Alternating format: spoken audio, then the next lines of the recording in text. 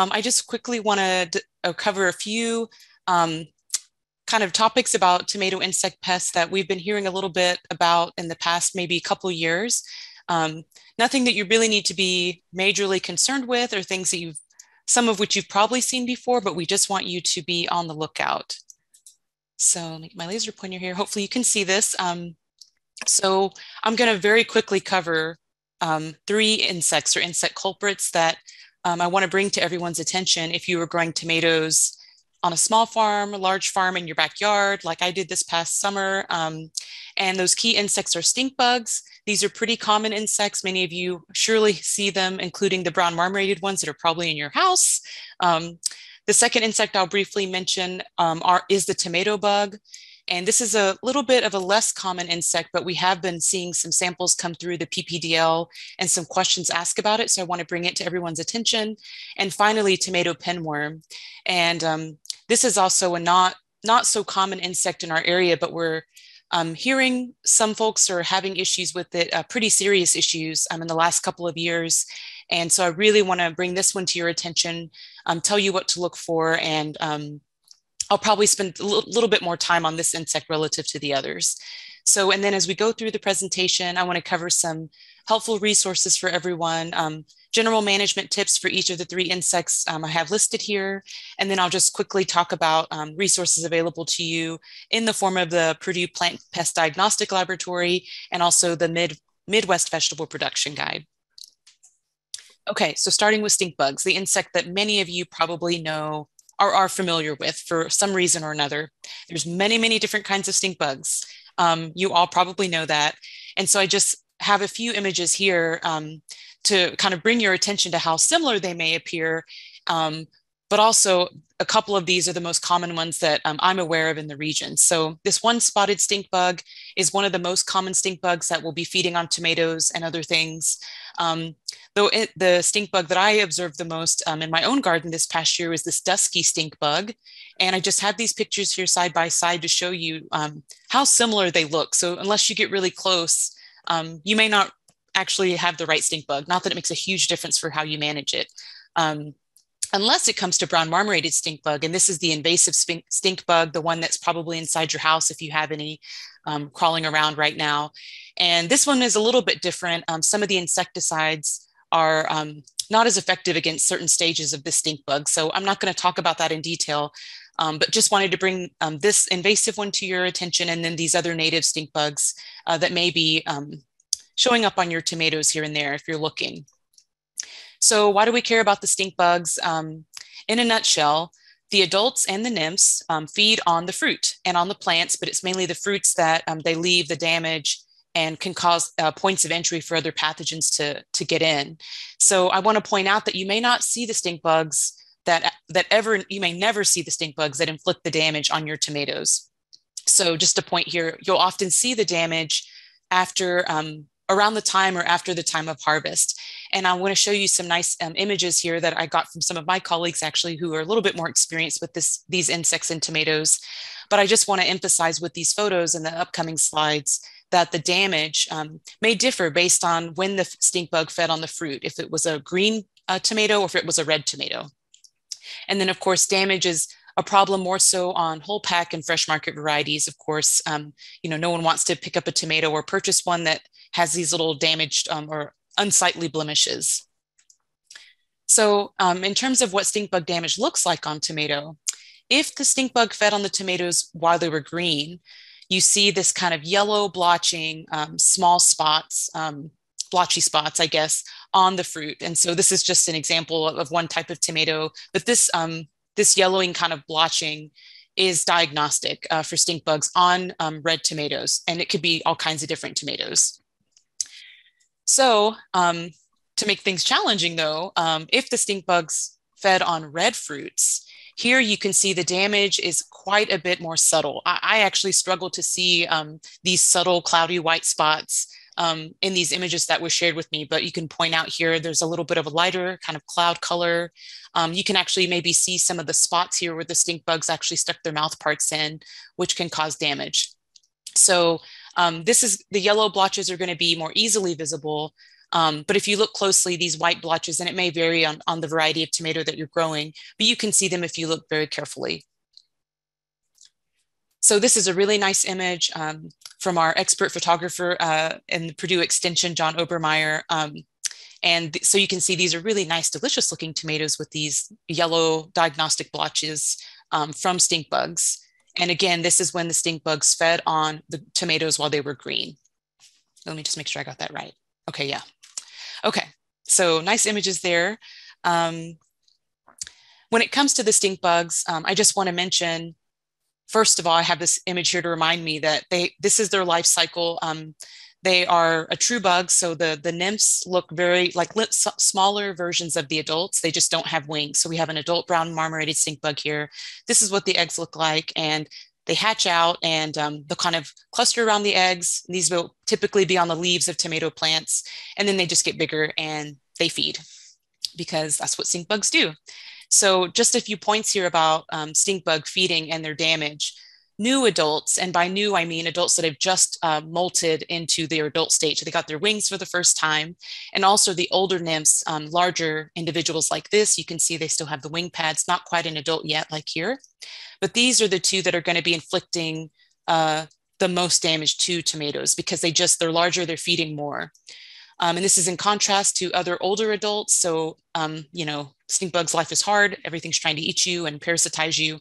Um, they're old, they just don't feed as much. And of course, the younger nymphs don't feed as much because they're just not as large.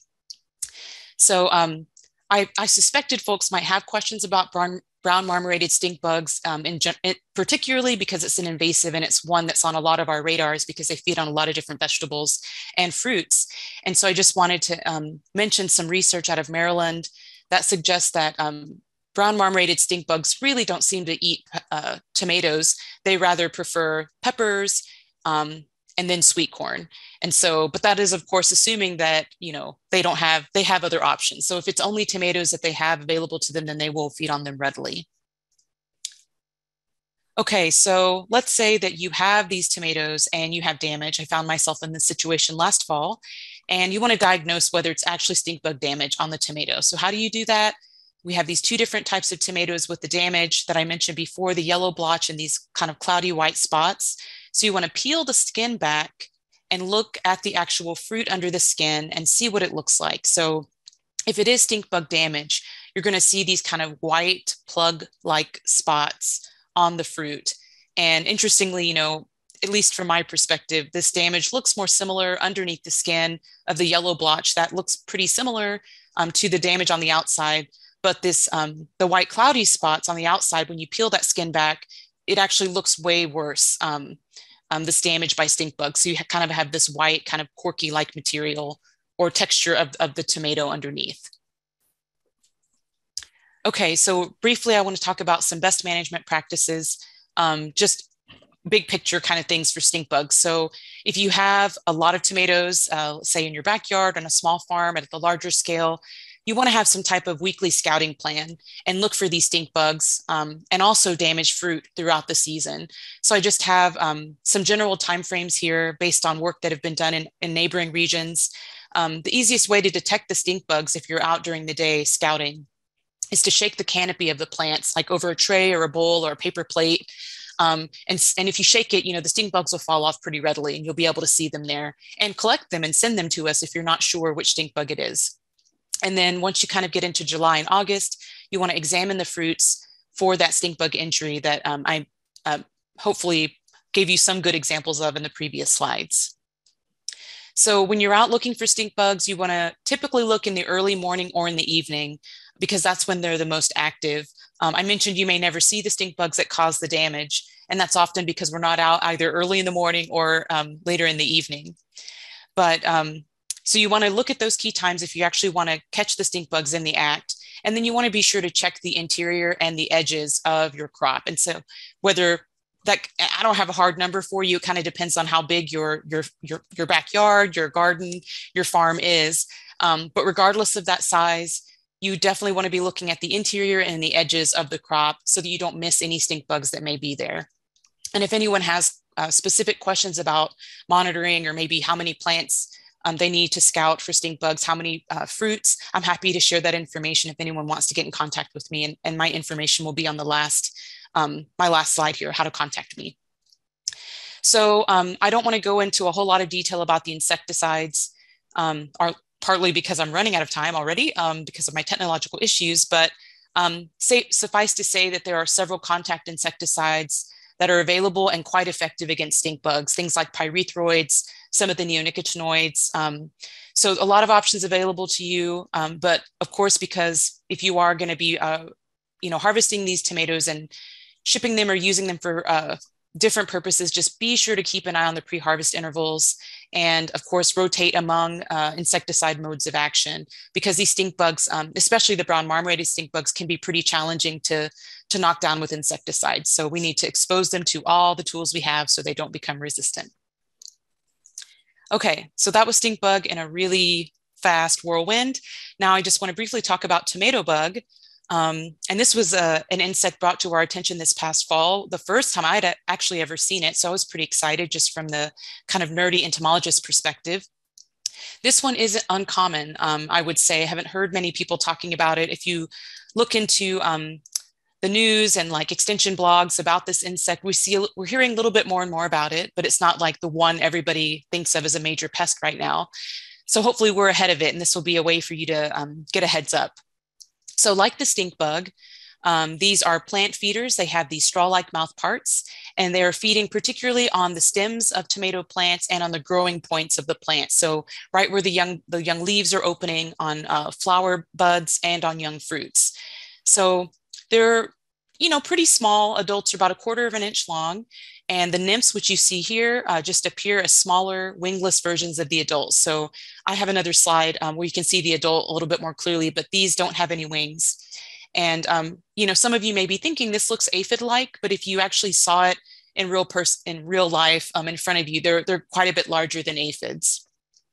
So damaged plants. Um, the damage inflicted by these bugs, again, is, you know, they stab their little needle-like mouth parts or sucking out plant juices. And you can actually see here um, the result of some of that feeding. And this is kind of a red, um, a yellowish red ring that develops on the stems where they're feeding.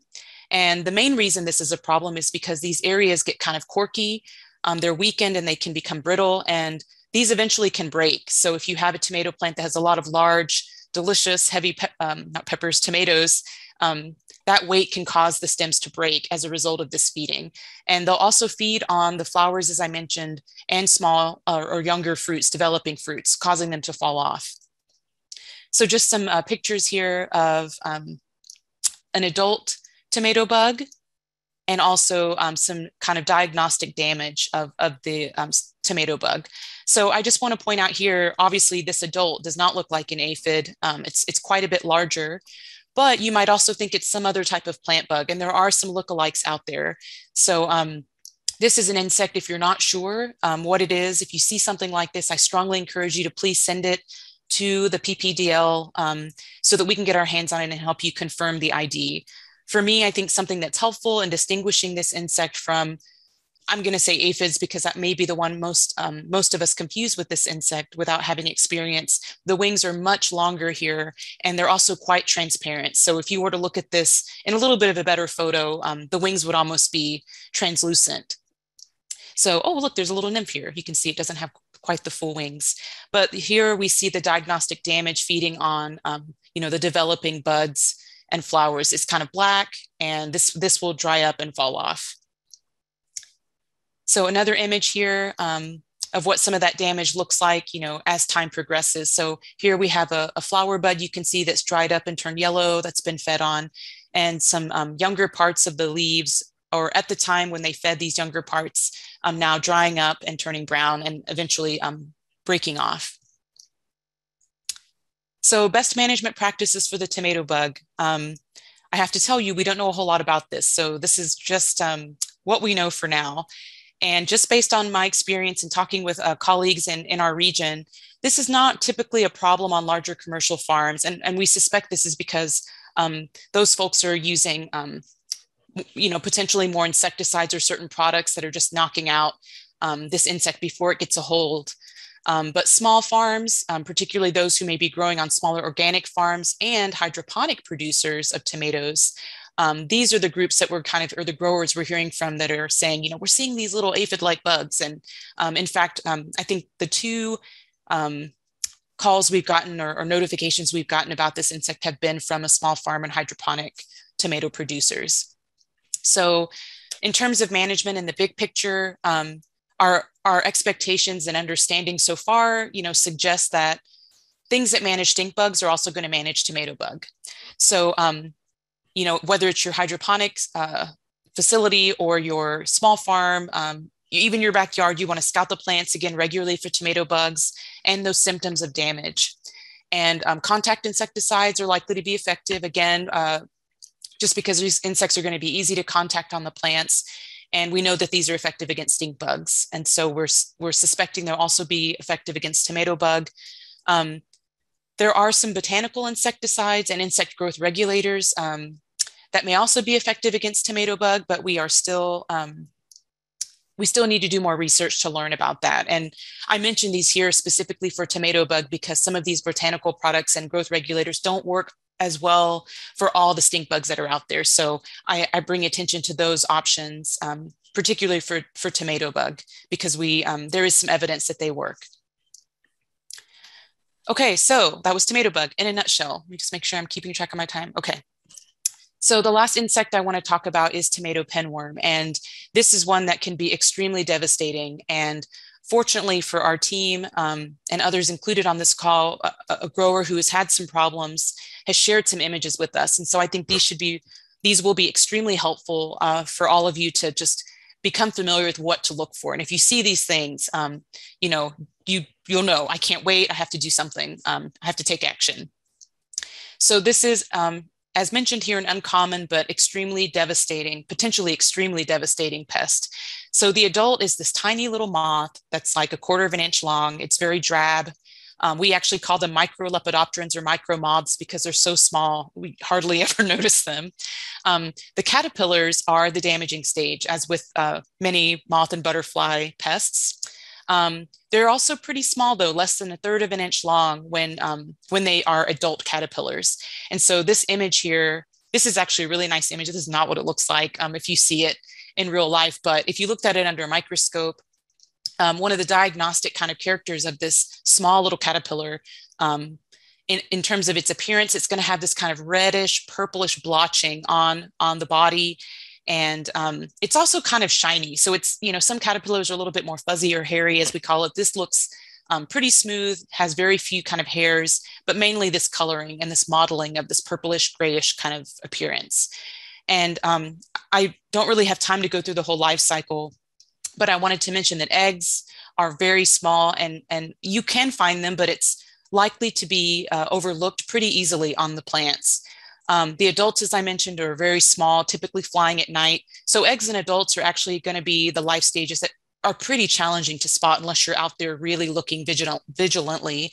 Um, so it's actually the caterpillars you're going to want to be looking for and signs and symptoms of their damage, which I'll show on the following slides. Um, I do want to mention though that the pupa, um, when the caterpillar matures, it falls from the plant onto the ground and makes a casing of um, a little casing or a shell around itself to pupate or go into the pre-adult stage and then emerge as, an, as a moth. So this happens on the soil surface. So um, kind of foreshadowing here about how important it will be to maintain good sanitation um, in and around your tomatoes so that you don't miss these pupae because um, you could clean up everything else, but if you don't get those pupae off the soil, um, they'll emerge as adults and the cycle will continue. So um, a little bit about this insect that kind of makes it challenging to manage, well, definitely makes it challenging to manage, but also unique. There are some differences in, in where the younger versus older caterpillars prefer to feed. So these young caterpillars are small, very small, um, and they mine inside the leaves. And some folks may think, oh, it's a leaf miner, I don't need to worry about it. So it's really important that you pay attention um, to the mines. And again, I have images to, to emphasize uh, what I'm getting at in the next slides um, the older caterpillars will um, typically leave the mines and they begin feeding on the leaf surface. And they may actually tie just a margin of the tomato leaf over their bodies to protect them while they're feeding. They may fold the leaves over like a leaf roller, even. Um, and again, they're doing this for protection. So um, those are key kind of uh, things to look for. And then when the when the caterpillars are in the largest uh, stage, they will also enter directly feed um, directly enter and feed on the tomatoes and just really create a huge mess, as you'll see in, the, in these photos coming up. So kind of putting all these things together about the life stages and how the, they feed. Um, egg to adult for this insect can occur in as few as 28 days and as many as 67 days. And as we know with many, in, as most insects, the warmer the temperatures, the faster this development will occur. So the hotter it is, the closer you're going to be to 28 days for this insect to complete its life cycle. And in regions um, that are suitable, not necessarily our regions um, where we are in here in Indiana, but if you're growing in a greenhouse or high tunnels, um, there is the potential for up to eight overlapping generations each year. And so that is a lot of eggs laid, a lot of um, generations of this insect emerging and potentially attacking the tomatoes. And I just want to mention here that when I say overlapping generations, eggs, caterpillars, adults, pupae, they may all be present at the same time. And so um, it's really important to keep track of what's going on with this insect, especially if you have suspicions that you're having issues with it. And also really um, keeping a clean uh, growing environment so that you don't miss any of these life stages and you can try to break the cycle. So just to show some images here, um, or signs and symptoms of tomato pinworm damage. Um, there are a few things I want to point out. So one is the presence of frass, and this is just insect solid waste or poop. Um, they kind of look like small little dirt specks here, and you can see them all along this tomato leaf here. Also, these blotch-like leaf mines. So for those of you who may be familiar with leaf mines, you know, they can kind of look like a little jagged straight line. Um, these are a little bit different, and that's why I emphasize here blotch-like in shape. There may also be webbing, which you can see present here, um, also here, and these folded leaf margins. So you can see quite a, a, large margin of the leaf folded over here, a smaller part here. Um, you can actually see a little caterpillar here. This is one of the smaller um, stages of the caterpillar. So there is a lot going on on this, this one leaf. And I would say um, feel pretty confident saying that if you see something like this, all of this on a leaf, then um, this is pretty diagnostic for tomato pinworm. Um, a lot of the other caterpillars that you may see on tomatoes, you're not going to see all these different types of things um, at the same time. So just another image here to emphasize um, different stages of this insect and what to look for. Here we have a younger caterpillar. Here we have an older caterpillar. Again, the feeding on the surface, or in this case, the underside of the leaf, you can see a little caterpillar hanging on there. Um, here's a caterpillar kind of halfway in one of those blotches. And of course, the solid waste um, that always follows caterpillars. So when people ask, where's the poop?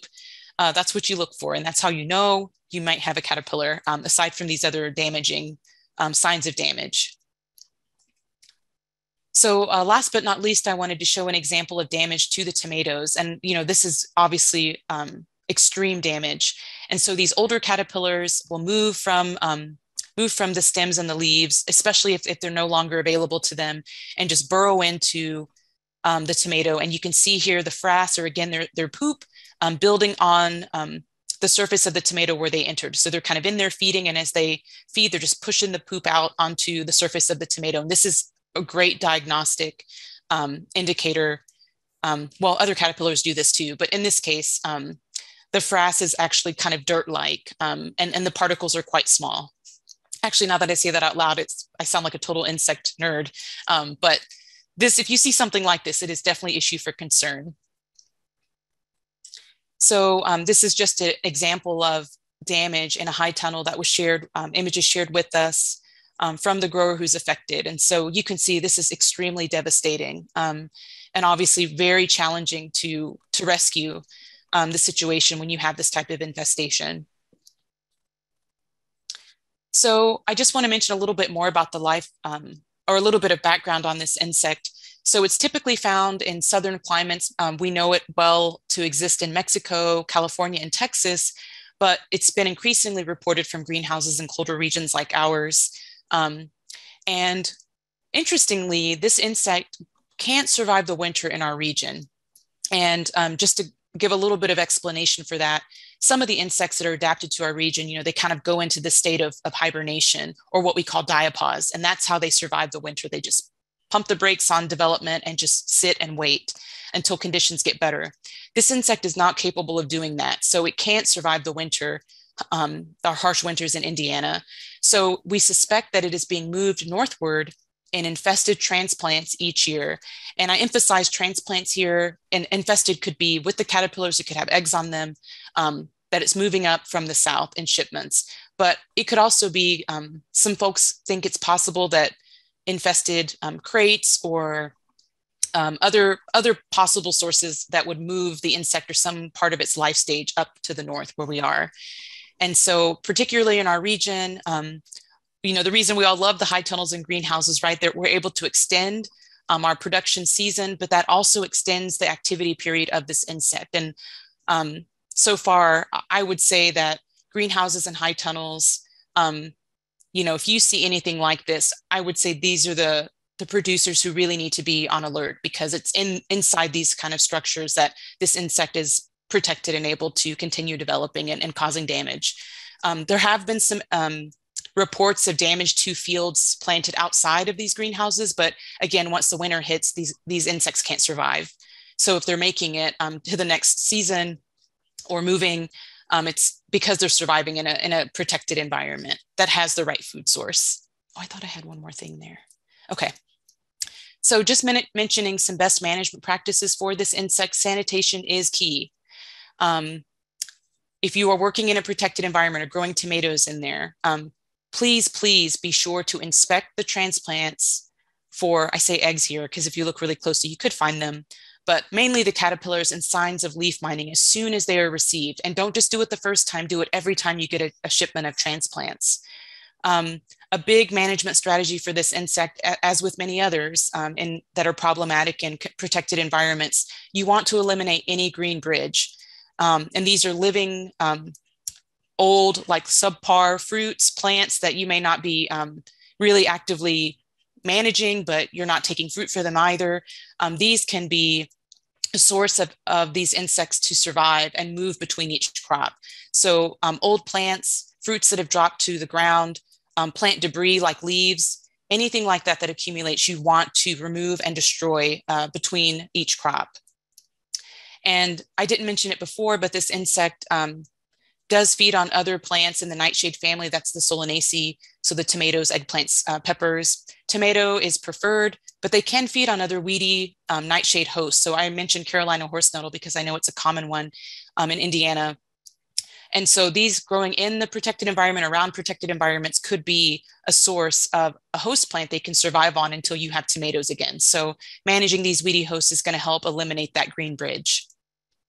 Last but not least, um, systemic insecticides, the ones that you know you apply and then they are absorbed and circulated throughout the plant, these are going to be most effective in managing tomato pinworm. And that's because um, well, more effective than contact insecticides, I should say, because the larvae are often in these protected locations inside um, a mine, under a leaf that's been rolled over. So, but they are feeding. So if you can get that product into the plant and they feed on the plant, especially the smaller caterpillars, um, you're going to knock them down pretty well. But it's so important you know that they're there as soon as possible so you can uh, get a handle on management. So I'll just very quickly go through um, the helpful resources. Oh, I see that I'm pretty much out of time. You're all probably likely aware of the uh, Purdue um, Plant and Pest Diagnostic Laboratory. So you can go to the website, submit a sample. You have different options here, submit a physical sample, a digital sample. This goes without saying, but the clearer the picture and the more of them you take, the better uh, we can use those to um, help you identify your culprit or pest insect. Um, if you do submit a physical sample, please submit as many as you can um, and be mindful of particularly if they're insects that they don't get smashed or dried up or get moldy whenever you send them in so if you do have questions about um, submitting samples feel free to reach out in advance and we can help you um, make sure you get the best bang for your for your buck by making sure those insects get to us in good shape oops last but not least um, the Midwest Vegetable Guide is a great resource, um, really to um, to get an idea of the pests that you may be seeing, but also what management options are available to you. Um, so I, I, bring this up because it's a great resource. You can also visit it online and actually, you know, search by crop or by your pest or, you know, by your control measures. So this is, I think a lot of people are very excited about this. I enjoy using it. And um, if you're not aware, uh, definitely check out the website. And, but if you're somebody who likes to have a paper um, book, you can also get one of those as well. Um, but this is my email address, eylong at purdue.edu. Hopefully you can still see this. Um, this is a great way to reach out to me and I'm happy to take any questions, but I also know I'm cutting into someone's time so I can bottle it up and uh, respond in the chat if, if needed. Thank you. Thank you, Elizabeth. Yes, uh, we are out of time. I will appreciate it if you can uh, answer some questions in the polls. I think there's about three or four questions. Okay. Our next speaker is uh, Dan Egel, and uh, he will be talking about uh, bacterial canker of tomato. Thank you, Dan. What I'd like to do is, uh, well, uh, thanks for having me here. I'm sorry we can't be meeting in per in, in person. Um, I like like Elizabeth. I like to talk about uh, things that I've seen lately, problems that I've seen. Bacterial canker is a is an old problem, but it but a lot of producers have had problems with this in in recent years, and so I'd like to talk about some some possible management options. So if you you read the textbook on on bacterial canker of tomato, uh, you, you will find the first thing it mentions is this wilt, and certainly it can cause a, a wilt. Unfortunately, um, lots of other things can cause tomatoes to wilt, so that's not it's not super diagnostic, but it does indicate that the bacteria that causes bacterial canker can get into the into the tomato itself, inside the tomato plant. But the the symptom that I often see is this firing symptom, this symptom of yellow and red or chlorotic and, and, and necrotic on the edge of the leaf. Now, this kind of symptom is not always uh, produced by a disease, but bacterial canker is, is, is, a, is a disease that causes this symptom in, in abundance. Um, so it'll start off like this and it'll get worse and worse and worse and until the plant is, is uh, not, not much left to it, it, is declining. But you can also find it if I, if you're willing to sacrifice a plant, you go to the second or, or, or, or first node and you cut it open, you may see this discoloration. And this is also an indication that the bacteria is getting inside the plant. So this discoloration is another symptom of bacterial canker but I don't always see this symptom on the tomato plant or on the fruit. Uh, but when you do, this is very diagnostic of bacterial canker. However, I can see plants that are in terrible shape and, and still not have the, the, the these lesions, these bird's eye lesions on the on the fruit itself. And this this photo here shows uh, bacterial spot, bacterial speck in comparison with bacterial canker. So I think the, the fruit lesions on bacterial spot and bacterial speck are difficult to tell apart, but the fruit lesions on bacterial canker are, are, are very, uh, to me, they're very diagnostic. But e either one of them can ruin the marketability of the, of the fruit.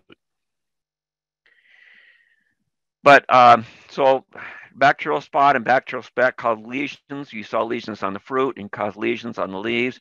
If you look on the left, the bacterial spot on tomato, you see when there's like when a lot of lesions are are close together, uh, you you can see that they cause a yellowing or chlorosis. And the middle photo, bacterial speck, uh, in contrast, the the the yellowing is yeah, typically around all of the lesions, not just where the lesions are are close together. And then, of course, in bacterial canker can get inside the plant and all cause all kinds of problems, including this uh, wilt. So I put this table together to kind of compare. I know I'm supposed to be talking about bacterial canker, but I wanted to differentiate these. Um, the symptoms that bacterial canker causes a decline and other symptoms, decline and wilt. We saw the firing. Bacterial spot and bacterial speck cause lesions on the fruit, lesions on the leaves, lesions on the stem. All of them may be seed-borne, so that means they can all come in on seed, they can all come in on transplant. Elizabeth was talking with a pinworm about inspecting transplants. The same is true here, whether you're growing them or, or accepting the, the transplants from someone else. Importantly, bacterial canker is systemic. That means the bacteria gets inside the plant. This means that once you you you uh, it means a couple things. One, it's it's not a, a it once it's inside there, you can't get it out. Of course, uh, it's hard to manage, and it means it may end up in the in the greenhouse where a spot and speck uh, are not systemic and do not uh, appear in, in the greenhouse. So, uh, as we'll see, uh, bacterial canker may be present in the in the tomato greenhouse when the tomatoes are growing to maturity, but spot and speck are unlikely. Um, copper resistance is a problem with bacterial spot. In a survey we did recently, we found upwards of 80% of the isolates, the strains of bacterial spot, were not responding to copper the way we'd like. Uh, but canker and, and speck are, are, are, it's not a problem. And then I put uh, temperatures in which these diseases are, are uh, uh optimum for. And the, the most important thing here to note is that bacterial speck is a rather cool weather disease. I typically see this early in the season. It may hang on later, but spot and canker are diseases more of, of the mid and, and later season. And that's usually. Well, this is a greenhouse. You can see the tomatoes in the center here have uh, bacterial canker. They're wilting, they're declining, they're stunted. Um, and although they're in a greenhouse, the, almost certainly what happened is that this disease got started as transplants, and now they're inside the greenhouse, um, and, and the disease is continuing. Now, it's not going to spread from plant to plant there, but it can be a problem in the greenhouse. Whereas, again, bacterial spot and bacterial speck are I've I put unlikely in the last slide, but I've never known them uh, inside a, a, a, greenhouse like this. Um,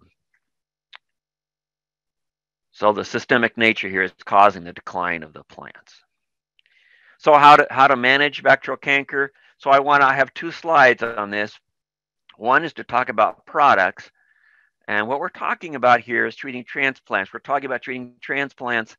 Uh, we'll, talk about the field, but it's, it's most important to treat these at, at transplant. So at the first true leaf, if you're growing transplants, you want to use a tank mix of copper and mancozeb. So mancozeb would be like uh, dithane or, or manzate or Penncozeb. You need to make sure that, that these are labeled for greenhouse use, but that should, should be no problem to find a copper product and a mancozeb product. And the reason you mix the mancozeb with the copper is it makes uh, the mancozeb makes the copper more available.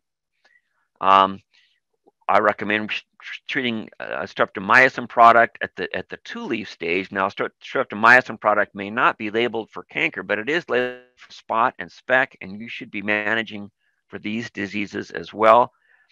Trade names might include Agri-mycin or harbor or um, other names. Importantly, uh, streptomycin is not labeled outside the greenhouse for any use at all. Now, if you want to use peroxide products like uh, oxidate, that's fine, but do not use a, a peroxide product in, in, substitution instead of copper, for example. Use it with those. So, for example, if you're mixing a copper and, and, and an oxidate, you'd have to mix the oxidate if it's oxidate 2.0 at 0.33%. However, if you want to use the oxidate alone, you can use the oxidate at 1% volume to volume. Oxidate has no, it, it's effective and it disinfects the leaf, anything it touches. However, um, it has no residue. It has no residue. So uh, once you once it dries, it, it's gone. So if you wanted, for example, to treat on a five to seven day schedule, and you wanted to start at, at the first leaf with the copper mancozeb tank mix, in between times you could spray oxidate at one percent every other day if you wanted. Uh, because there is no residue, it's important to put it on frequently, right? So now, uh, managed bacterial canker in the greenhouse. Now we're talking about practices. I'll spend the next couple slides talking about using a backpack sprayer um, instead of a garden sprayer. We'll, we'll talk about that a little bit. Separate the varieties. I have another slide on that to avoid uh, spread between varieties. And then scout for questionable symptoms. Elizabeth was talking about sending uh, samples in Uh, so if you have uh, quest questions about that, send those in, contact me or the diagnostic clinic. So this is a slide. This is a photo from Mary Hausbeck of Michigan State. Flat of tomatoes. It looks okay. It might be a little something going on in the center there. If you look closely, it's got this etching on the leaves. This is actually bacterial canker of tomato. Uh, this it's on the outside, but it's going to get inside the plant. It's going to be systemic, and wherever those plants go, it doesn't matter what you do to manage them, uh, they're they're going to uh, have problems. So purchase seed tested for canker and inspect uh, transplants. So here, let's in this slide, we're imagining we have three different varieties here. Um, and what I'm suggesting is that you separate those varieties. So as you're watering them overhead, that it's not splashing from that if there's disease in variety A, it's not splashing to variety B and then to variety C. So if you water variety A overhead, there's be splash, but variety B is far enough away that it's not spreading. This, if you get nothing else out of this this talk, that that this is critical that you do that.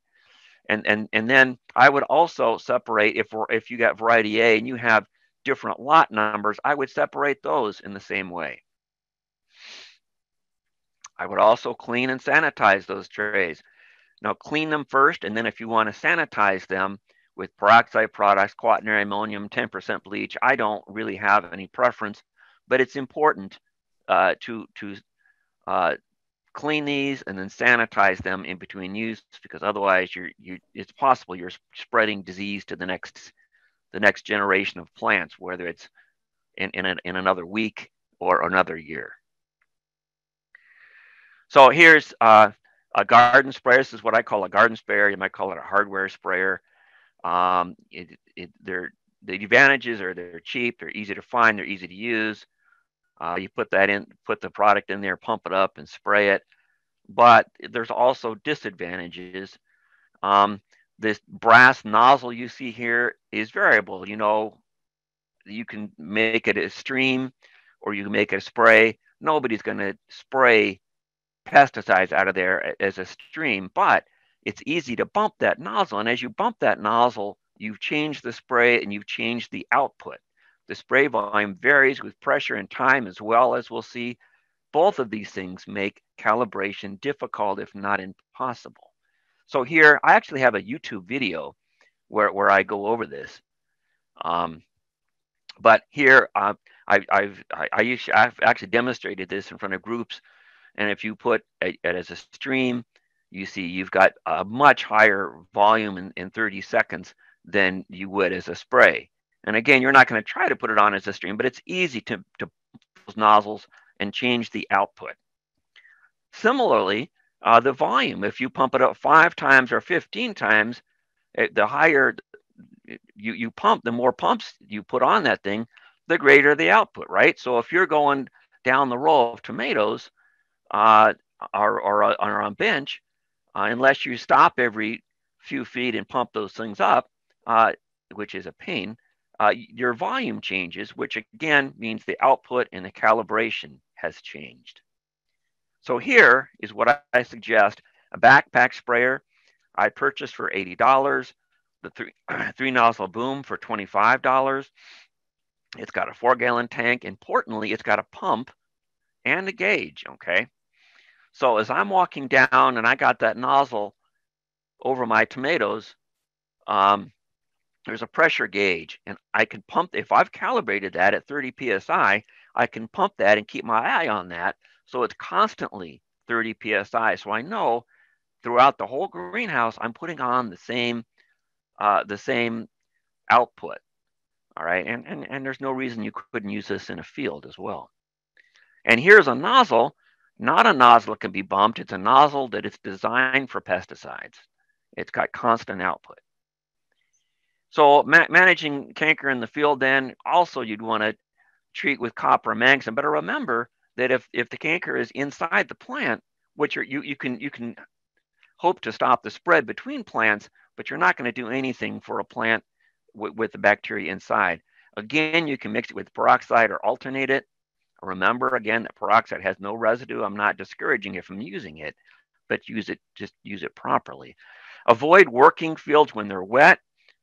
There's evidence you can just if you're uh, get into one plant that's diseased, you can just take that uh, disease and, and, work it all the way down that, that row, and, and, then destroy affected plants because um, if and, and remember that if you have a plant that you know has canker, and if you take that out and get it well away from that area, remember that the plants on either side are almost certainly affected with uh, canker also, and those should also be destroyed.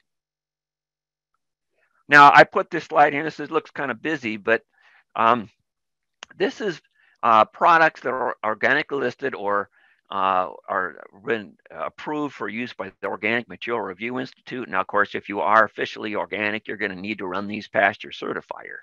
But let's go over these one by one. Here's the products. The first one is AgriPhage or agrophage is sometimes pronounced.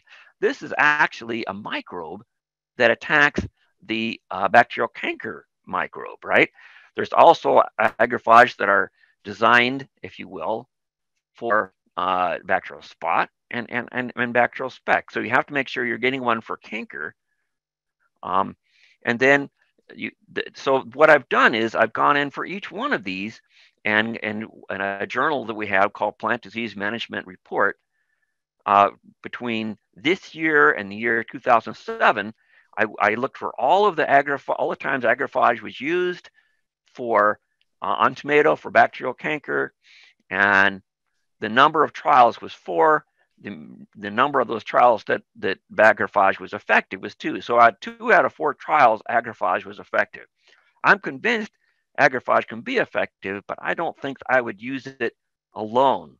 Uh, if you use AgriPhage one time, you might use something else the next time, for example. However, you cannot mix AgriPhage with copper, and you can't mix it with oxidate because it's a living critter, and you want to be careful that you're not going to kill the AgriPhage. Copper was effective three out of four times. Here's cease and MilStop. Uh, cease is a microbe. Uh, MilStop is potassium bicarbonate.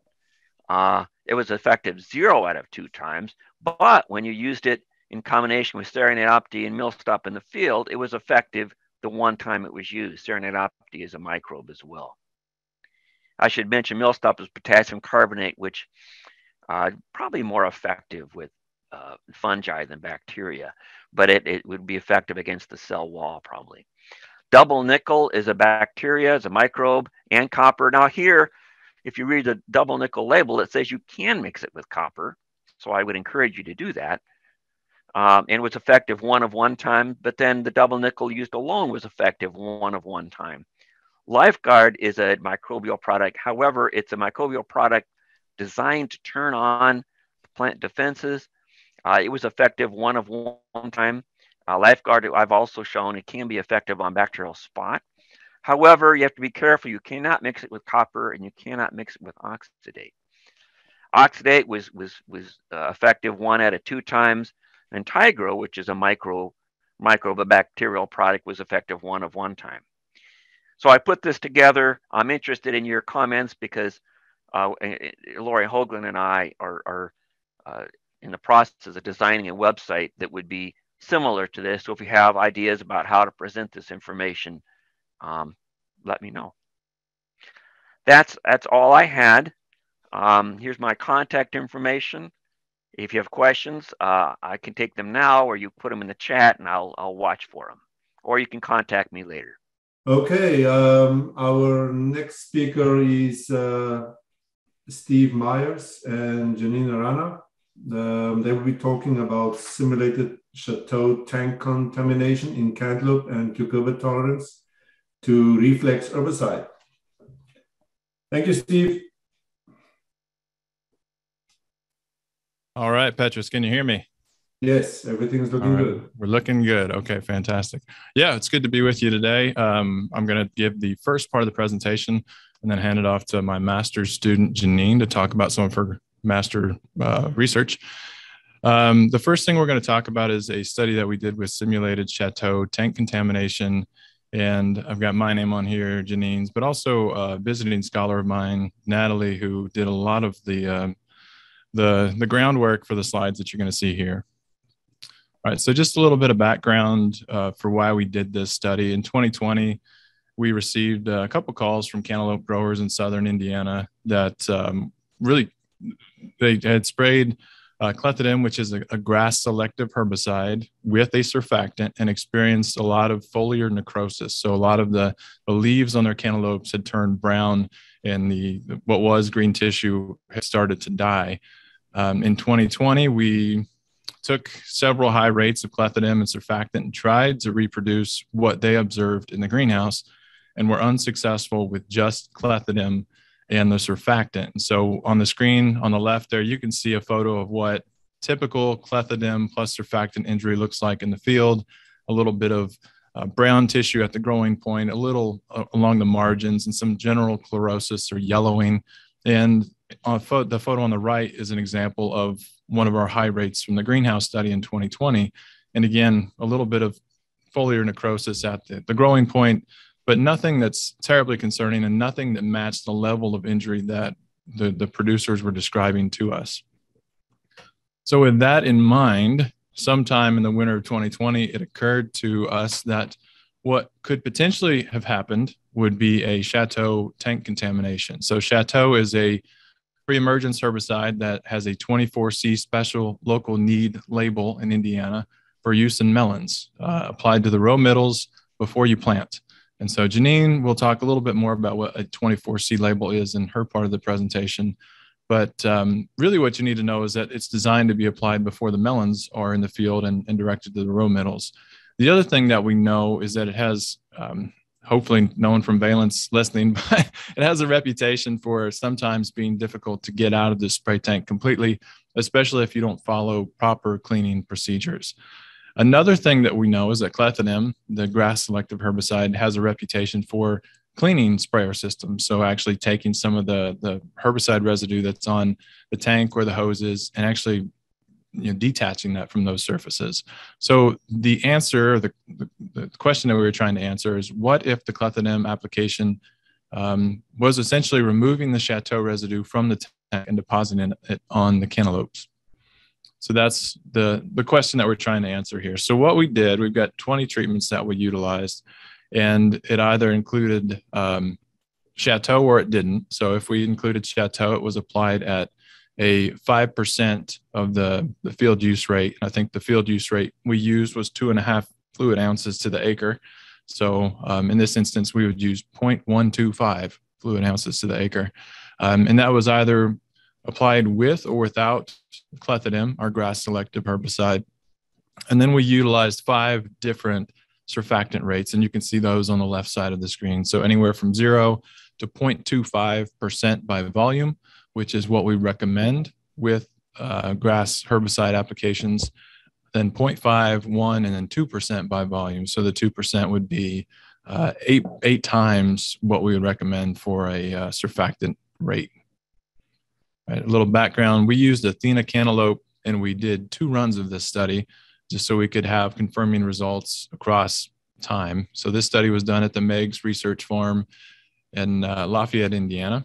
And you can see they were sowed in the greenhouse May 28th, the first run, June 14th for the second run, and then transplanted. And then we let them establish in the field a few weeks before we uh, treated them with our, our treatments. And we did this with a backpack sprayer, which you can see on the screen. So that's a stainless steel backpack sprayer. The tank contains CO2, which is our propellant. So it goes into the soda bottle and pushes out our herbicide solution, which is then sprayed through that the boom that you can see uh, in front of uh, my uh, visiting scholar there. All right, so the kind of injury that we see varies depending on the, the herbicides that we uh, applied. So if you were to see these two photos or you walk out in your field and, and you see this kind of injury on your cantaloupe, it's very likely that this is just a result of exposure from clethodim and the surfactant. So again, it's just kind of this necrosis at the growing point, a little bit of chlorotic um, tissue, especially at the, the growing point. And then if you see a little bit of uh, leaf crinkling or, or leaf distortion, you know, that can be a sign as well if you start to see symptoms like this, you know, this this can also sometimes be the result of a really high um, grass selective herbicide with surfactant, uh, more chlorosis, you know, an interveinal chlorosis, also some some leaf spotting as well. And then um, the, the left photo there shows that leaf necrosis, but just along the margin of of the leaf. And so that that could be, um, but we're starting to get into a, territory where you know if you start to see to see these symptoms after you sprayed a graminicide, um, you, you may have something else going on. And then certainly if you get to the point where we have dead petiole tissue, like you can see in the left photo, or speckling of fruit tissue, like you can see on the right, you know, now this is something that we wouldn't expect from our, our grass herbicide or our surfactant. And then certainly if your uh, row or your cantaloupe plants look like they do on the, the center photo, that would be an indication that we've got something going on as well. All right, so the, the graphic here is showing kind of what these different pieces of the puzzle look like separately and together. So an example of a non-treated cantaloupe plant would be in the bottom left of the screen. If we were to apply clethodim by itself, you would see something that looks like the top left photo. Uh, if we just apply surfactant by itself, you get something that looks like the top right photo. And just flumioxazin alone would give you um, a plant response that's in the, the bottom middle of the screen. And then if we start to combine these things, so if we combine clethodim with surfactant, we get a little bit more injury, and that would be that top uh, top center photo. Uh, if you look at the the photo on the the right, um, let me see if I can get my pointer here going. I don't know if that's working, but um, if you look, for example, follow the flumioxazin arrow and the surfactant arrow to where they meet, um, that would be the combination of flumioxazin and surfactant. And what we really see is if you look at those three center photos, that's the combination of all three. So our clethodim or a grass herbicide, our surfactant, and then a tank contamination rate of flumioxazin causes the most injury. All right, we got a lot going on here, but uh, basically, if we look at the, the left side of this graphic, what we'll see are treatments that had zero flumioxazin. So no chateau was applied with these, um, but we do have both our zero and our eight fluid ounce rates of clethodim. And what we're going to do is draw a line here. So if we use herbicides, you know, inevitably we'll have some amount of crop response that that we don't like. Some some leaf chlorosis, necrosis, a little bit of stunting, something, right? So what I've done here is I've drawn bars at 10% injury. And the scale that we use is 0% would be no crop injury, 100% would be crop death. 10% to me is, uh, is an area that I feel comfortable, you know, drawing this line at. And so what you'll notice is when we're applying no simulated chateau tank contamination rate on these left boxes, um, most of our injury ratings fall below that black line. The exception would be um, if you look at one week the one week. So that'd be the uh, the blue dots. The only time we see injury greater than 10% are when we use uh, 2% surfactant, which is something that we we should never really do. So conversely, if we look at the right side of the screen here, that is where we actually had our simulated flumioxazin or, or chateau tank contamination included, both at the zero and eight fluid ounces of uh, clethodim.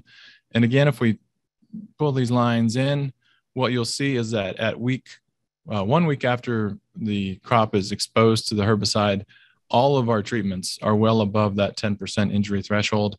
And the same is true two weeks after injury.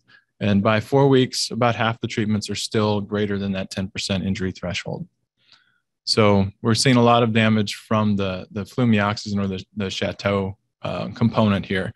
The good news is that despite being very severely um, burned by the chateau tank contamination treatment, the cantaloupe were able to recover. So this shows you what what it looks like when we applied our clethodim with the highest rate of surfactant, 2%, and with the chateau tank contamination rate. So all three things combined here.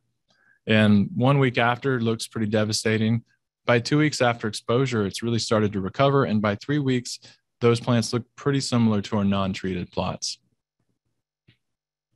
All right, moving on to cantaloupe yield. So overall, um, for our first run, we had six harvests. For the second round of this study, we had five harvests, and we harvested fruits that were um, you know, full size and and would slip easily. Um, and so, if we pull across all of those harvests, there were no differences among our treatments. So even though we had severely damaged uh, cantaloupe vines, yields didn't differ from our non-treated check, which is fantastic news. The one bit of difference we did see was with our first and last harvest. So this shows you the, the yield data um, per plot, fruit per plot from our first harvest. And so if you look at treatments that had no chateau, which would be the left side of the screen here, you can see that um, there were more small fruit harvested at the first harvest when we had chateau exposure, and there were fewer large fruit harvested at that first timing when they when they were exposed to chateau. And this is what the the uh, final harvest looked like. So the the sixth harvest at our first run, the fifth harvest at our second run, and you can see at both of both the large and small fruit uh, were greater in the plots that received a tank contamination rate of chateau. So essentially, what this tells us is that over time, over five or six harvests, um, yield you know is is similar to our non-treated, but what we did see is a delay in in fruit enlargement and uh, and fruit ripening. So the plants were were held back a little bit when they were exposed to this uh, simulated contamination rate of chateau. Right, just some photos of our, our fruit there. For the most part, the the fruit quality was unaffected. Some of the, the speckling did persist um, until until harvest, um, although I think most of those fruit were still marketable we did have one funny looking fruit, and uh, that's the one you see with the face drawn on it. So hopefully that brings some levity to your day. We'll see. um, just a, a, slide here on proper clean out procedures. Uh, Purdue, of course, has an extension publication about how to do this extensively. But what you want to do is spray out the contents of your tank, hopefully at the end of the day, at least once a day. Perform a first rinse in the field, clean your screens and caps, perform a second rinse, use a tank cleaner, especially if you have a product like Chateau that has a reputation for hanging onto the tank, and then use a third rinse. So three rinses is important. The other thing you want to do is um, is make sure that you have enough volume of rinse water going through that spray system. So we target at least 10% of the, the volume of the tank should be included with each rinse. And another thing for some of our smaller growers that, that may apply with backpacks or or can can utilize this, um, one thing you can consider to avoid contam or spray tank contamination is to have dedicated spray equipment for different kinds of pesticides, whether it be fungicides, insecticides, herbicides, or have um, dedicated spray equipment for those herbicides that tend to be contamination problems. All right, so I'll go ahead and hand it to Jeanine. If you have questions about the first part of the presentation, uh, drop them in the chat or wait till the end and, and we'll get those answered for you.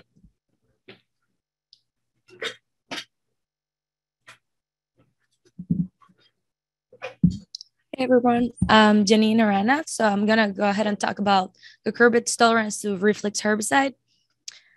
First of all, um, reflex is uh, active ingredient is fomesafen. It's a PPO inhibitor with pre and post activity. In this case, we use it as a pre-emergence. Um, there's a 24C label in some Midwestern states in Illinois, Michigan, Minnesota, Missouri, and Ohio, but not in Indiana. And it's used at different rates in all these states, but it varies between 6 to 16 ounce, uh, fluid ounces per acre. Um, I obtained this information from the Midwest uh, vegetable guide that Dr. Long mentioned. Um, so what happened is that Indiana producers requested a local data to support a registration in Indiana. Um, for this, we need to obtain crop safety data, right? So the 24C label, it's a um, it's a label from the FIFRA, which is a Federal Insecticide, Fungicide, Rodenticide Act, that allows states to register additional uses of federally registered pesticide to meet special local needs within the state, right? So this is registered for other crops in Indiana, but not for cucurbits. So with the IR4 project, which is a new USDA project, we can uh, share the data that we obtain and they can help us uh, to obtain this label for Indiana for cucurbit crops that we studied. So basically, I like seeing how this, uh, an experiment is set up. what we have here is a split plot design. So we had five rates of fomesafen or reflex. Uh, the zero is our control. And then we had two cultivars for each crop that we have. And we had these studies in three sites in Indiana, including Lafayette, Vincennes, and Wanatah sites. So as I mentioned earlier, um, we had two, two uh, cultivars or varieties for each uh, crop. We had pumpkin, winter squash, summer squash, and watermelon. Um, for winter squash, we had um, an acorn, which is here, and a butternut uh, uh, cultivar. Then for summer squash, we had a zucchini and a yellow squash cultivar. Um, for all these crops that you see here on the left under the yellow color, we use rates from 16 to 74 ounces. And then for watermelon, we use um, rates from 12 to 48 ounces. So for pumpkin and winter squash, sorry. So for pumpkin and winter squash, we sprayed our herbicide on top of the bare ground within one day after planting seeds. Uh, for watermelon and summer squash, we sprayed our herbicide seven to nine days before transplanting or one day uh, some watermelon and one day before transplanting summer squash. So for our results, I'll show you emergence for winter squash and summer squash as a percent of control, then injury at two or four weeks after treatment, and yield as a percent of control as well. So for pumpkin emergence, we can see that as the rate increases, our emergence reduce, reduces, right? We had a difference in between years. In 2020, it reduced less than 10% our emergence. And then, but in 2020, it reduced more than 20%, around 25%. Here is where you can see our control our controlled um, plots where you can see all the merge plants. There's also they are also weedy, so that means we didn't. It's because we didn't use reflex. Now for the one X rate, it looks a little similar. There's some emergence reduction, but the plots are clean, right? That's what we like, right? And then uh, the highest rates that we wouldn't use, it's just part of the experiment, um, we see that the plots are clean, we uh, come and see less emergence, but this only happened in 2020. It didn't happen this harsh in 2021. Then for pumpkin injury, we see that as rate increases, uh, injury increases, but at, a, at the rate of 16 ounces per acre, we only see a 10% reduction or less. And here's some of the injury or the symptoms that you can see in the field. This is a bleaching. It's a white spotting. And then we have this yellow spotting and it's chlorosis. And these symptoms were um, four weeks after treatment. And what we uh, what we've seen this is because uh, it's due to splashing. That means that the herbicide that it's remaining on the soil, and after a rain, it will splash onto the leaves and cause this damage because uh, we saw this injury only in the leaves that were closer to the ground and not no injury like this on new leaves or something like that then we had only pumpkin yield loss in 2020 where we had the harshest harshest injury and the harshest emergence reduction but as you can see here the 16 ounces per acre had less than 5% uh, yield reduction, and statistically, it wasn't significant. Now, for winter squash, um, in 2020, we didn't have any emergence reduction, but in 2021, we did. Um, as you can see here, as rate increases, emergence uh, is reduced. But interesting, the and good for us, the 16 ounces per acre that we want to get registered in Indiana didn't cause any emergence reduction, which is great. Here's what you can see. The control uh, plants look uh, great there. Um, there's no weeds because we already had hand weeded, but it did help our is weed control. Um, here you can see that the 1x rate uh, has a lot of plants emerge. There are some missing, but it's looking great. And then as rate increases, we see less and less plants per plot. Then winter squash injury, we saw that as rate increased, um, injury increased to around 80% at one side and only to 30% at Vincennes here. But the labor rate, again, uh, produce uh, injury less than 15% in this case. Again, what you can see is some chlorosis and also bleaching. I did I couldn't find a bleaching photo, but it looks really similar to what we saw in pumpkin. Um, we had only winter squash yield loss in Lafayette in 2021, and if you remember the the previous um, slide, it's where we had the most injury. So it's consistent to what we saw, but great for us. There's no yield loss here. And uh, in fact, the yield was better in this case. So we attributed all these yield uh, emergence reduction mostly to rainfall effect on herbicide zone. On the left, you see here that we need rain to incorporate the herbicide into the into the soil. We want some herbicide zone to be able to reach weeds that are there. But if it rains excessive, excessively, then the herbicide zone will move to our crop's root zone, which it's uh, risky as for what we saw. And then we match our data to the rain, uh, the rainfall that we saw in each side. In 2020, where we had the largest emergence reduction in pumpkin, it rained almost two inches, right? We only want one inch to incorporate uh, for it to incorporate the herbicide into the soil. Um, in the other sites, all the in the in all the other trials that were not pumpkin 2020, we had less than one inch, and that's when we saw uh, not a not a harshest emergence reduction as we saw in uh, in pumpkin 2020. So we have to be careful, and we need to plan really well when we want to apply this herbicide. Now, for summer squash injury, um, as I told you, we spray the herbicide before transplanting onto the plastic um, emergence was uh, sorry uh, injury was little. It was less than 20 percent uh, than 30 percent even at the, at the harshest are the are the highest rate.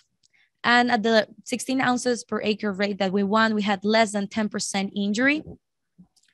And what happened is that where we had that 10% injury is because there was no rain before transplanting so the herbicide wasn't washed off the plastic where it was washed off in Wanatah 2020 and also in Lafayette 2021. There was no injuries because um, uh, the, the residues of the herbicide didn't remain on the plastic. Here is some of the injury that we saw. Again, chlorosis. This is at the at the 16 ounces per acre, and it's not as um, as we cannot see it as good as the as we saw what we saw in pumpkin. That was really yellow. So we only had summer squash yield loss in Wanatah 2021 that's where it um, rained after we had transplanted and it was a lot of rain that we received.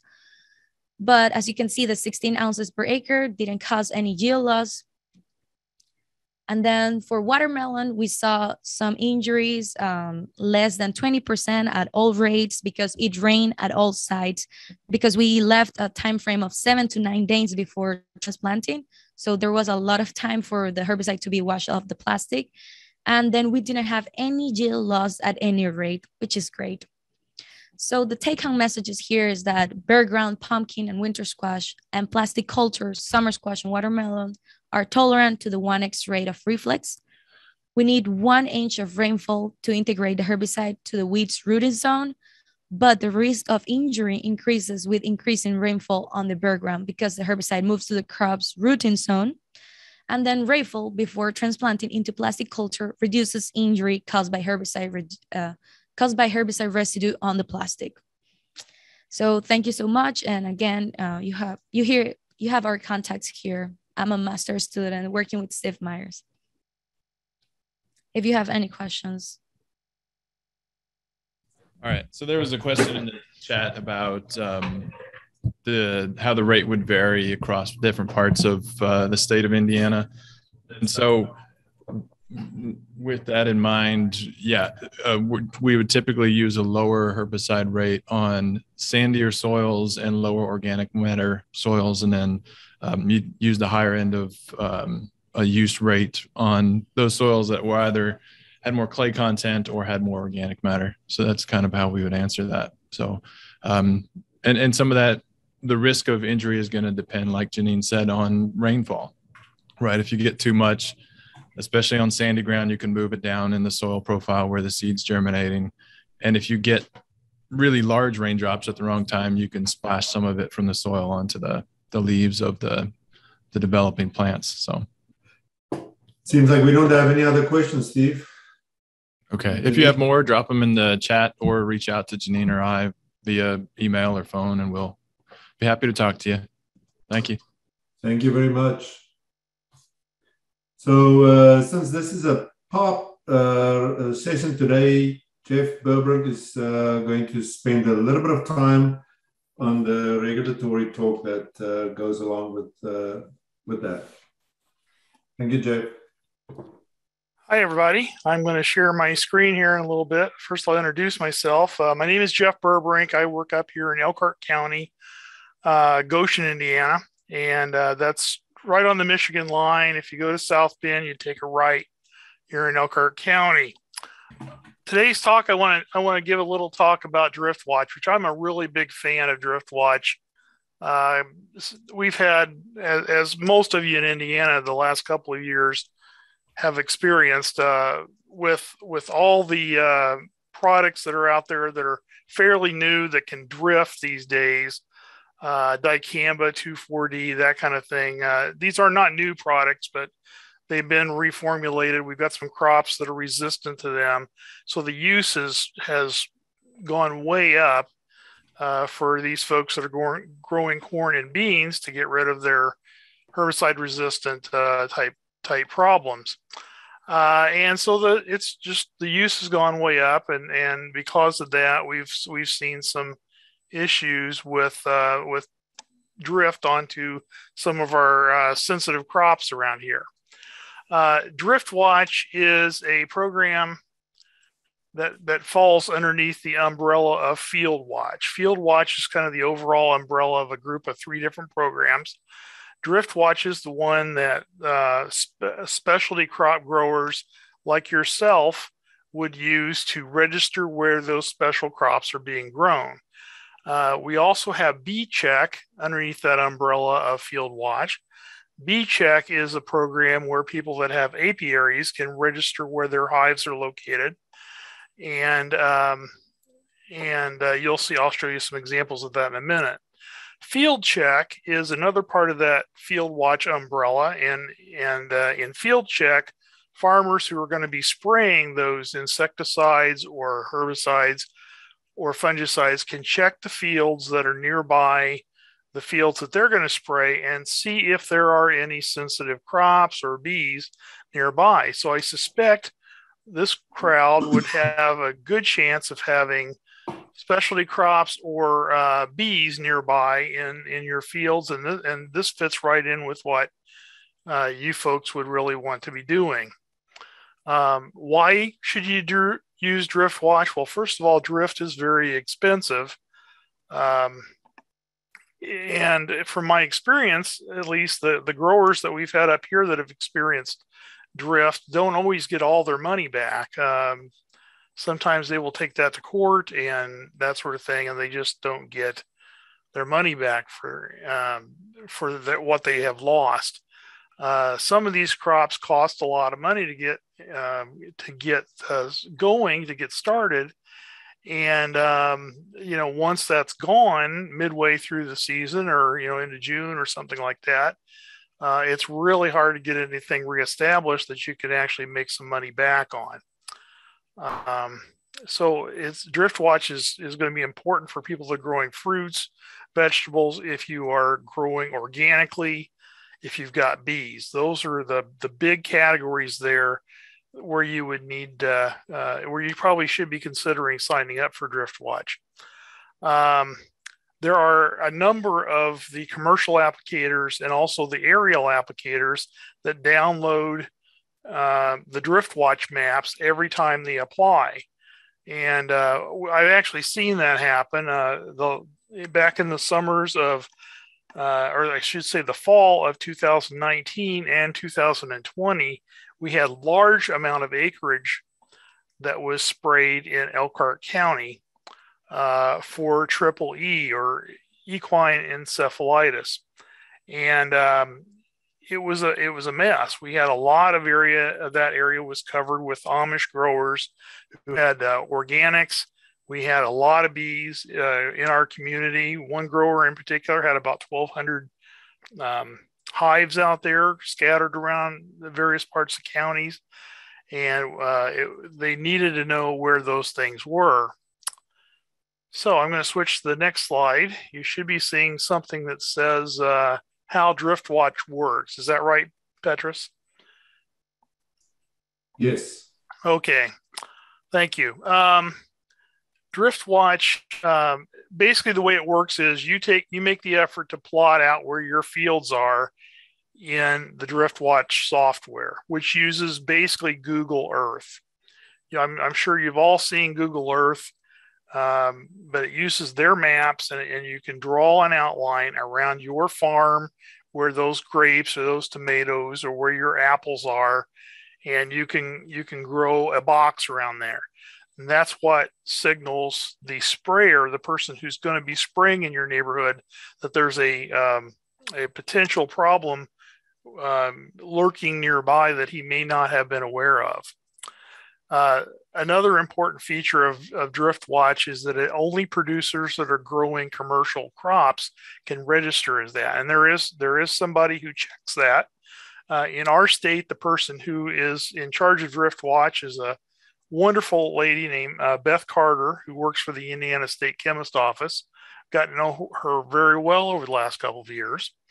And uh, she looks at all these applications where the maps are drawn and make sure they're just not a a homeowner with a, uh, a garden in their backyard. These need to be producer oriented types of crops that are growing. Um, the pesticide applicators are, are then to check the website whenever they're going to go out and spray, particularly if it's a uh, some of the products like um, like dicamba actually tell the producers you need to visit this site. It's part of the label it's not just a recommendation. Therefore, they are required to go to Drift Watch and look, or excuse me, Field Watch to see where they're um, potentially have issues. Um, the applicators can also register where their farms are, or they can make it kind of a broad generalization of where they want new new notifications to pop up.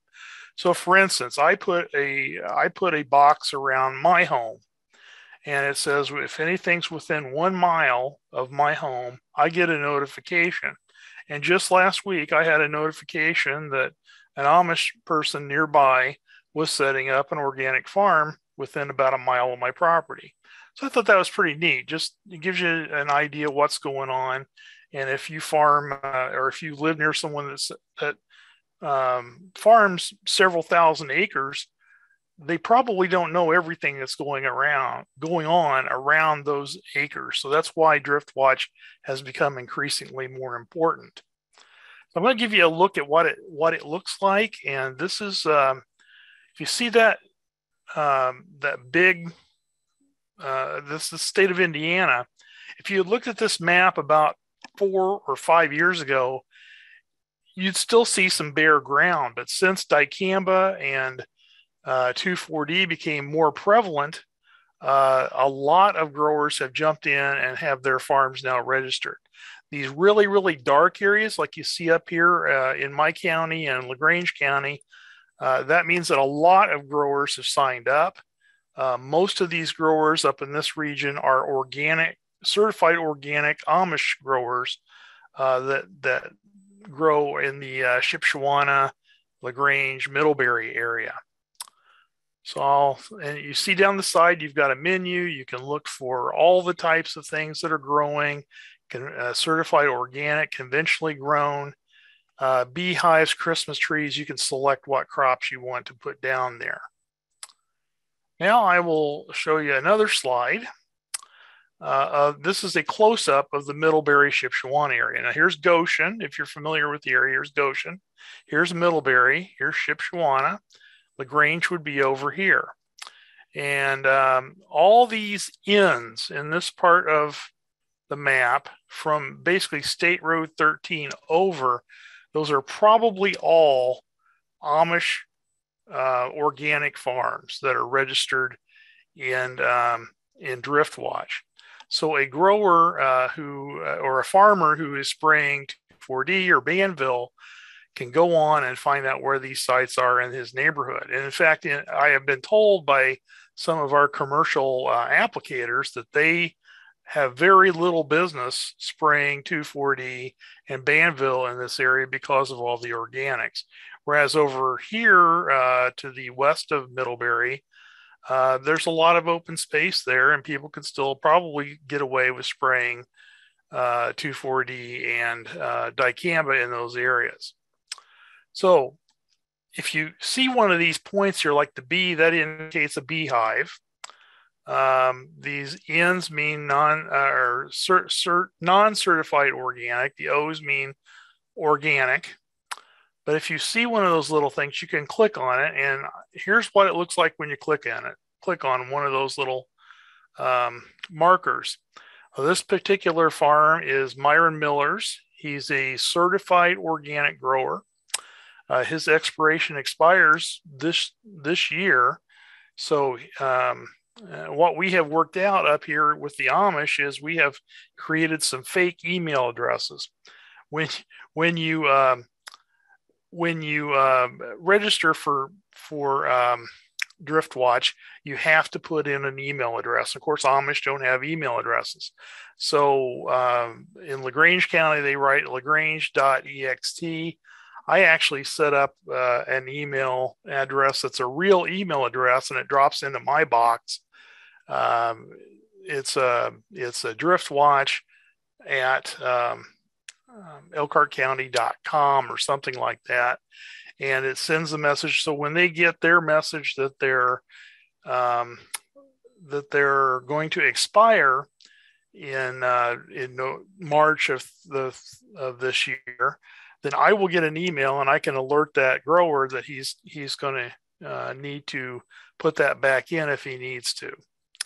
So that's kind of what it looks like. And this is the same screen that a farmer might see who is getting ready to spray nearby.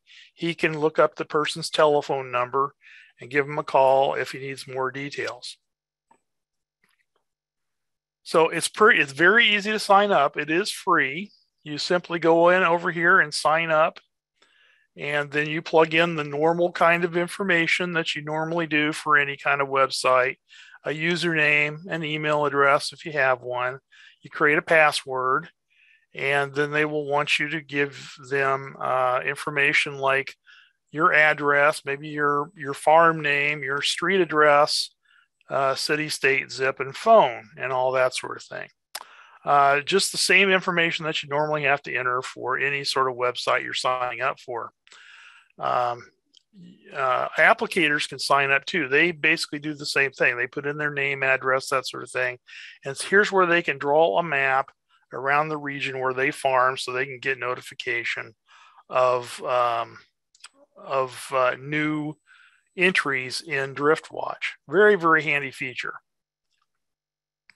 So as a producer, you would fill in these things. You would go through and check what you're going to have uh, you'd select the crop year and then um, what state you're in and also what what type of crop that you're going to be plugging in and whether it's commercial uh, conventional organic or certified organic um, and then the active dates and such. So you're going to you're going to plug in information about your crop.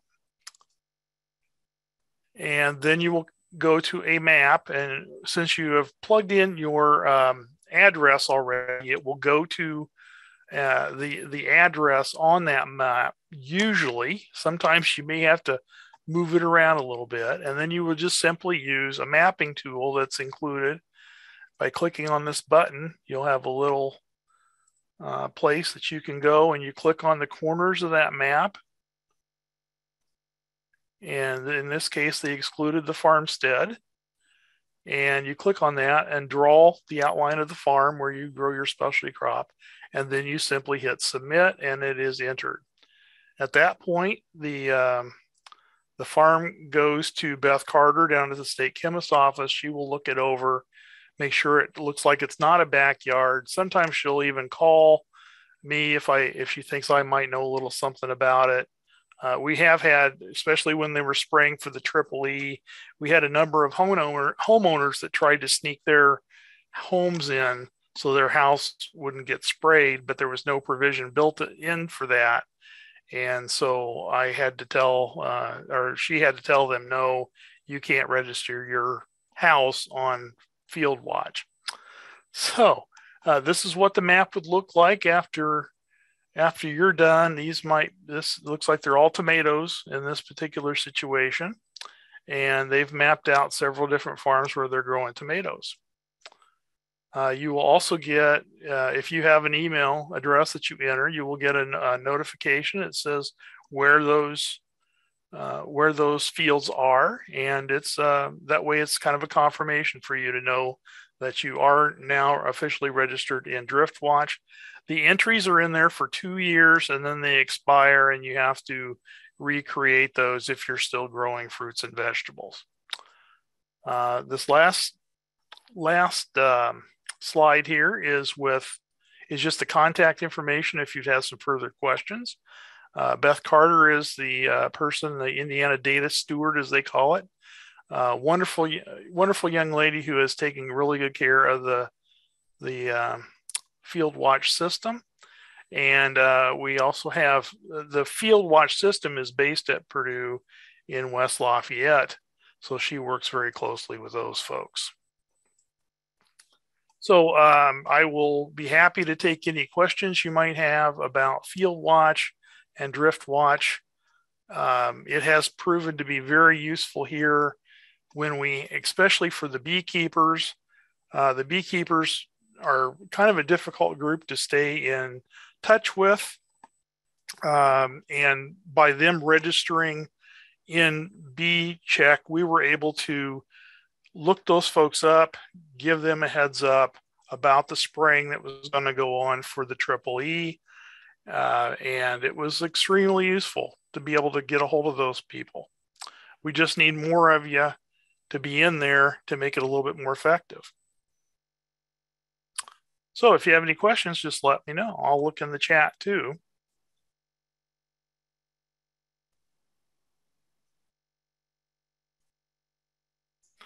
Okay, there is a question there. It sounds like um, we have a, we have some small growers growing on city yards, uh, and if they are legitimate producers, that would be allowed, I would assume, because they're actually uh, they're actually doing something uh, where people will be buying that produce.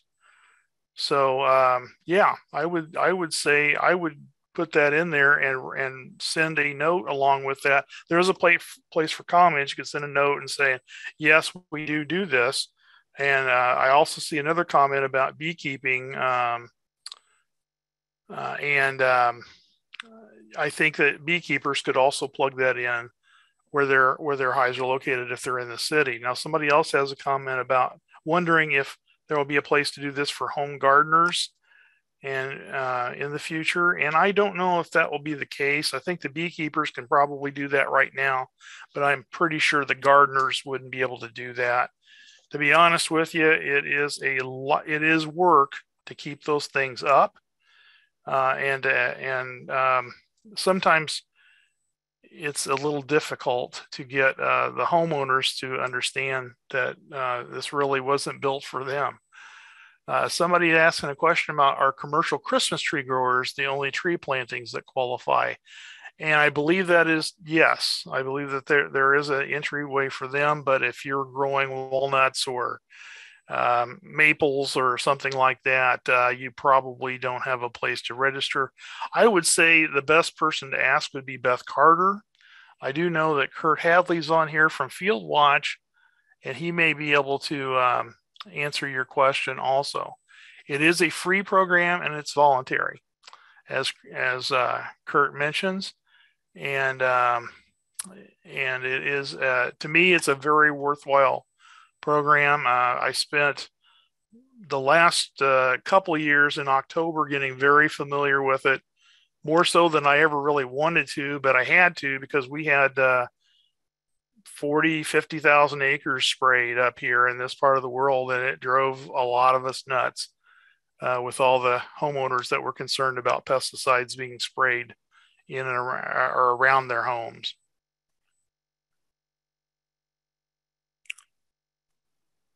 Yes, and uh, Kurt is Kurt is mentioning too in the chat there that Indiana has limited this to commercial agricultural crops.